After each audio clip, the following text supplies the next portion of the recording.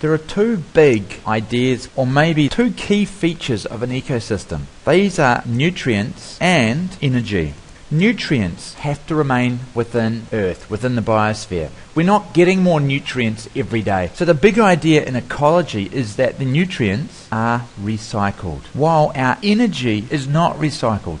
We have energy coming into Earth, into our system, as light, and then leaving Earth as heat. Now, that doesn't seem like much at the moment, but those are the two key ideas that underpin most of the ideas in ecology. We've got to recycle nutrients. If we don't recycle them, we'll run out. Why do things decompose when they die? To reuse the nutrients, the building blocks inside them. You wouldn't like to go to school walking over a hundred meters of dead corpses, would you?